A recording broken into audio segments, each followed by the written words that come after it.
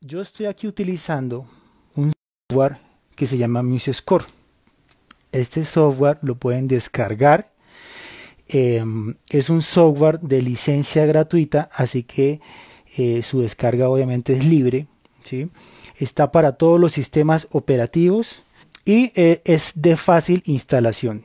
Solamente es que se dirijan a la página de MuseScore, eh, entran a la página, leen descargar, van a la carpeta de descargas, le dan clic a la carpeta y ya empieza con su descarga normal. A todo le dan next y ya. Esta es la plataforma que tenemos. Mm, aquí vamos, voy a explicar un poco de, del funcionamiento básico de, de este software para los que no lo conocen y puedan empezar a hacer sus transcripciones. En la parte superior tenemos las figuras musicales. Tenemos redonda, blanca, negra, corchea, semicorchea, fusa, semifusa. Y aquí tenemos pues el pentagrama.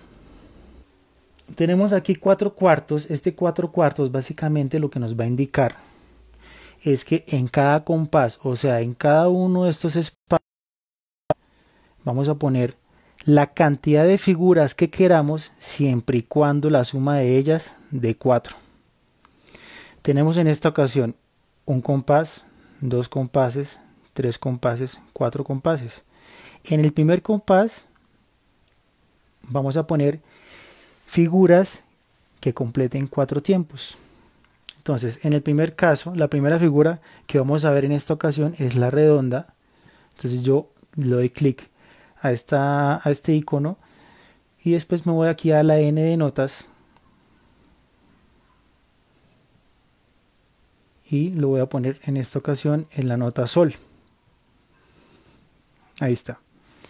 Esta figura redonda tiene una duración de cuatro tiempos. Siendo así, yo ya no puedo poner más figuras en este espacio porque ya completé lo que me indica aquí de cuatro cuartos, que solamente van a caber cuatro tiempos en cada compás. De modo que este compás ya quedó eh, realizado. Después de esta redonda, perdón, que dura cuatro tiempos, vamos a ver la blanca. La blanca dura dos tiempos cada una. Voy a poner aquí una blanca y aquí otra blanca. Tenemos este compás. Esta primera blanca va a durar dos tiempos y esta va a durar otros dos tiempos. En este compás yo voy a poner esta blanca que dura dos tiempos y aquí está otra blanca de cuatro. Siendo así ya está completo el compás. Seguimos. Después de la blanca, recordemos que cada blanca dura dos tiempos, dos y dos da cuatro. Siguen las negras. Cada negra dura un tiempo. Siendo así, en un compás de cuatro cuartos, solamente me van a caber cuatro negras. ¿Por qué? Porque cada negra dura un tiempo. Repasemos para los que están llegando. Tenemos una redonda que dura cuatro tiempos, una blanca que dura dos tiempos, otra blanca que dura dos tiempos, dando un total de cuatro. Y tenemos la negra que dura un tiempo.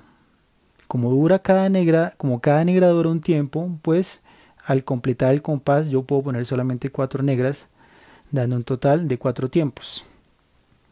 Después de esto, después de las negras, siguen las corcheas, entonces yo me voy aquí a la parte superior, le doy clic donde dice corchea, Después me voy donde está el cuadro de N y pongo corcheas.